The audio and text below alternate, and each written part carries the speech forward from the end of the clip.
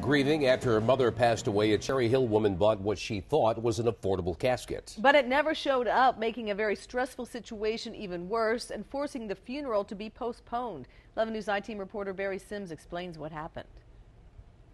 It was supposed to be a simple purchase, a casket, but it didn't arrive in time for the funeral. Even worse, the funeral had to be postponed. Diana Johnson had the responsibility of handling her mother's final arrangements. With limited funds, she decided to purchase a casket online. Getting it in time for the funeral turned into a disaster. And I felt like I felt. The delays lasted weeks, and the family finally had to settle for something they didn't want.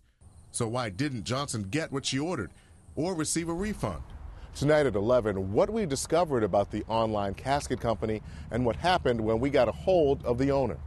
For the 11 News I team, I'm Barry Simms.